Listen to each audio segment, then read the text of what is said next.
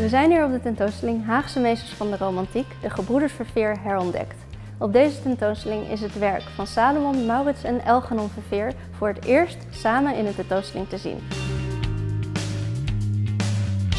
De gebroeders Verveer zijn drie broers die geboren werden in een Joods gezin in Den Haag aan het begin van de 19e eeuw.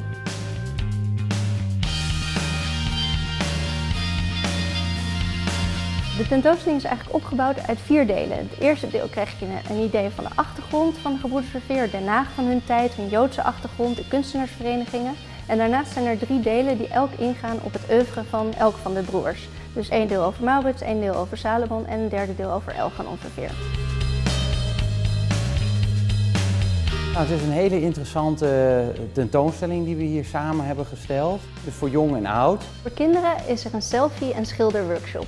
Daar kun je in het atelier, net als de gebroeders Verveer, schilderen en een 19e eeuws portret van jezelf maken, zoals ook de gebroeders Verveer dat deden.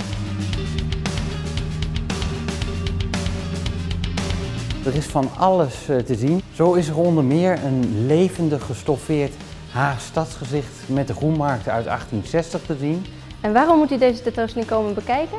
Omdat we hier de allereerste generatie Joodse kunstenaars van Nederland in volle glorie als kunstenaarsfamilie aan u tonen.